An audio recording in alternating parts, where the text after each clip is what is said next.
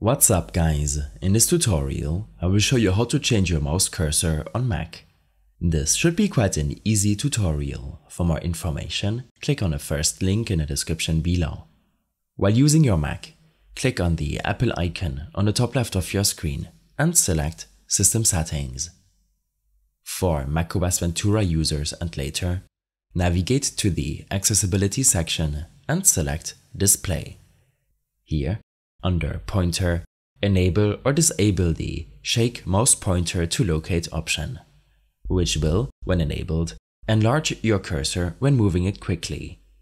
Below, change the pointer size to your liking. Next, proceed to change the pointer outline and the pointer fill color.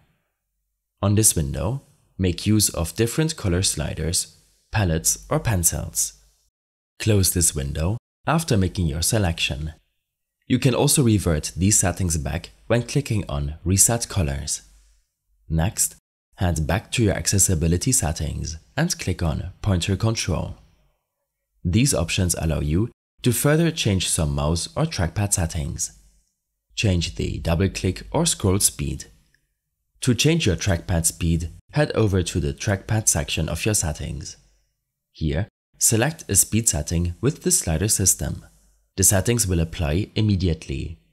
If some of these settings are not enabled on your Mac, then I suggest updating it to the latest macOS version. In your settings, navigate to the General section. Here, click on Software Update and download the latest update before restarting your Mac. More information about your Mac cursor and related settings will be available in my extensive guide linked in the description below.